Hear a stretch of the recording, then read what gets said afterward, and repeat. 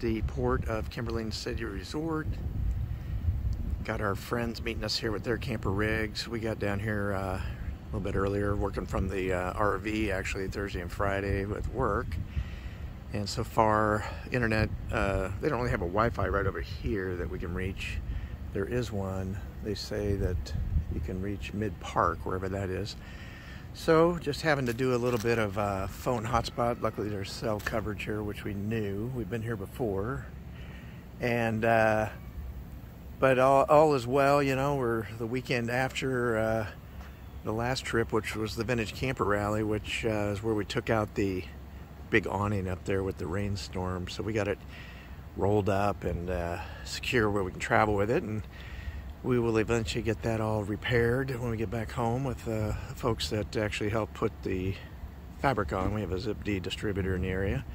So looking forward to that, but looking forward to a nice weekend. It's gonna be a little bit warmer, a little bit warmer than uh, this time of year normally, but it's gonna be nice. We've got a lot of shade and lots of trees around us here, and of course we're we're right on uh, Table Rock Lake, and it's just a beautiful day out here. Uh, a little bit of sun, a little bit of a breeze, feels good. Yeah, down here uh, at the resort, you know, right on the water, uh, they've got, turn my camera around, they've got those uh, houseboat rentals. We uh, checked those out actually when we were down here for the first time in May this year with our friends and uh, you know we all agreed that'd be that'd be a lot of fun. So uh, we still have it on our little bucket list to get one of those giant houseboats and rent it for a day out here on this beautiful Table Rock Lake. It's a really big lake. And, uh, but yeah, just beautiful day. Looks like, uh, let's see, today's Thursday actually. And uh, I think there's uh, people kind of leaving today and tomorrow and another group, you know, of campers if if there is a big group, will come in for the weekend. Of course, we're starting to get out of season now. We're past Labor Day, so maybe it won't be so busy. Yeah, another another thing uh, straight out in front of us uh, down here at the resort is that floating restaurant. They call it the Pizza and Grill over there. I think there's a, an official name for it.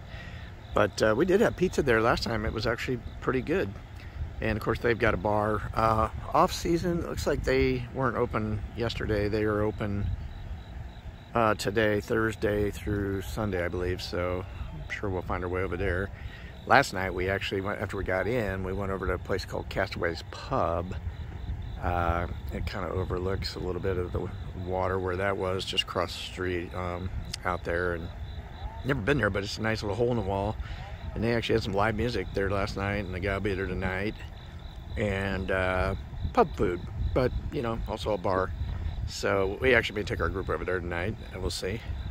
Yeah, the park does have a lot of uh, cabins here. Let's see, there's probably uh, three, six, seven, eight. There's probably eight cabins right down in this area. So, uh, got lots of choices to enjoy this beautiful nature out here. Oh, take me home to the place I belong, West Virginia.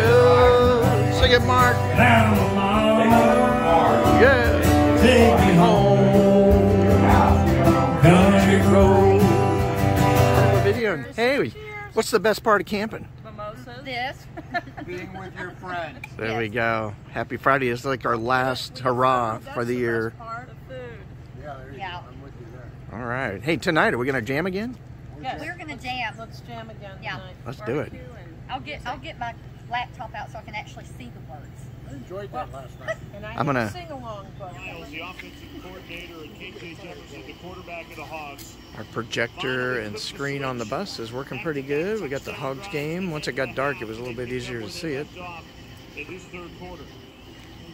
Kendal Very Briles talked about this defense for Missouri State, how they can create miles and bring pressure and multiple blitzes and that man coverage, and they did that early on in that first half. See what they can do here in the start of the second. Got the pyro. Going.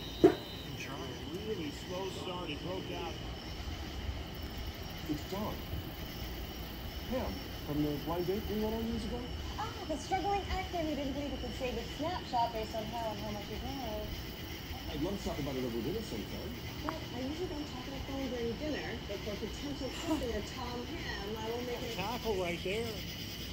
That Razorback defense that's did a good. job on that left side with Landon Beebe, their big tackle, and Mark Hutchinson, their left guard.